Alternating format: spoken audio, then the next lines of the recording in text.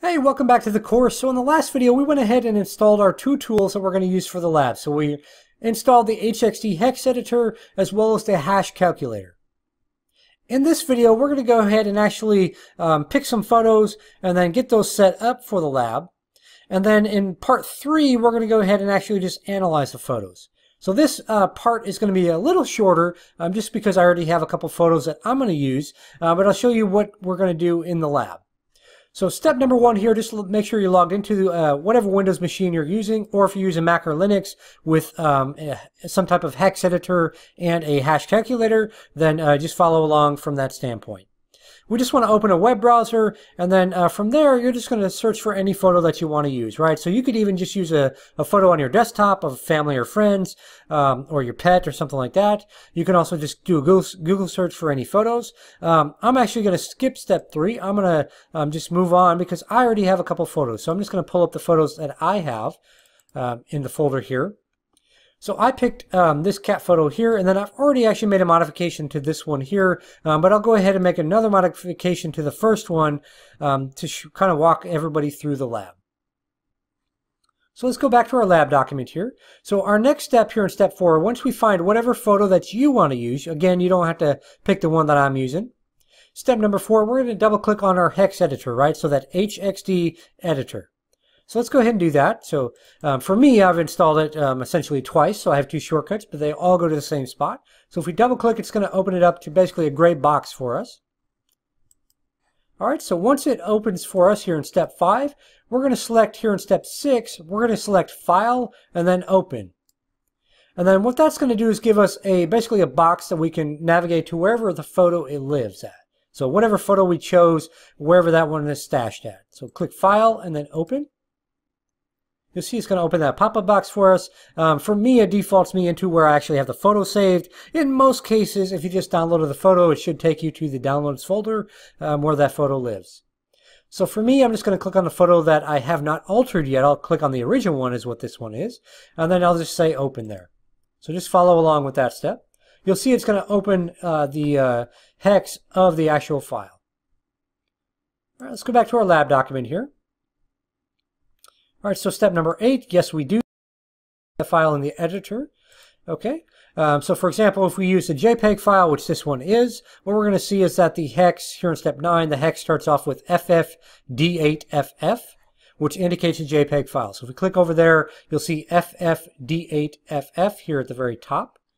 So that indicates to us that that's a JPEG file. So um, very important if you decide to take the Computer Hacking Forensic Investigator exam through EC Council, that you uh, know your image files and basically know the hex um, that each one starts with. That's going to help you a lot on the examination. All right, let's go back to our lab document here.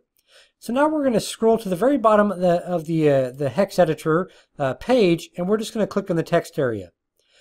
Once we do that, we're just going to type some type of uh, short word in there. So nothing extravagant at all because if you type a long thing in there, it's going to actually change the size of the file. So um, very important step for us when we want to analyze these files in part three of the lab, um, we want them to actually be the same size, right? So um, if we type some, you know, 30, 30 character long phrase, that's going to modify the file size and we're not going to be able to actually complete part three. But if you just type something like, you know, the word password or like your first name or something like that, um, feel free to type whatever you want, but just try to make it some type of short word or phrase.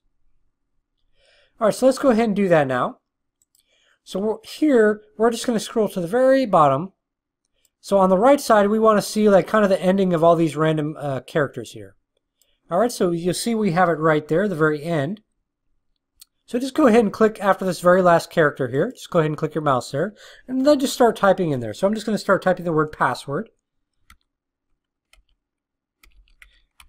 All right, so we'll just type that in. Now, you may get a prompt asking you, um, uh, I forget exactly what it asks you, but uh, there is an option to make that go away. Basically, each time you type a character in, um, it gives you a prompt. Uh, I believe it says something along the lines of, hey, you know, just so you know, you're modifying data, you know, um, or this might change the hex values, or it might change the file size. Um, there's some type of error message prompt it gives you. Um, again, I forget what it is because I, I have it uh, blocked on my particular virtual machine.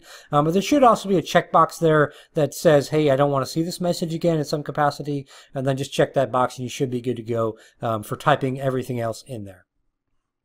All right, let's go back to our lab document. Uh, so yes, we typed a short word. You saw I just typed the word password in there. Um, and I actually didn't follow my instructions. I didn't type the word test. I did the word password because um, I wanted to change it up a little bit.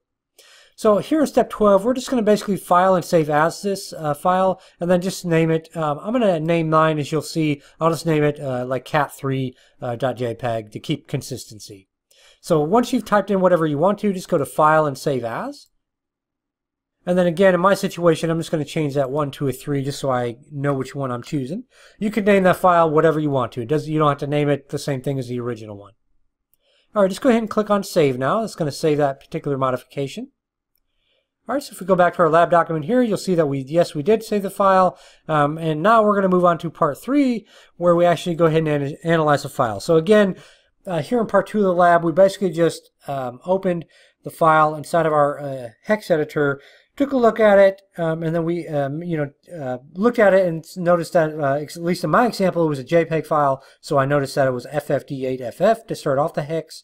Um, and then we also scrolled to the bottom right of the hex editor and added some information, whether that was our first name or like the word password or, you know, just a few characters, whatever the case might be. But our main goal there was we didn't want to modify um, the actual file size. All right, so in part three, again, of the lab, we're going to go ahead in the next video and actually analyze our files.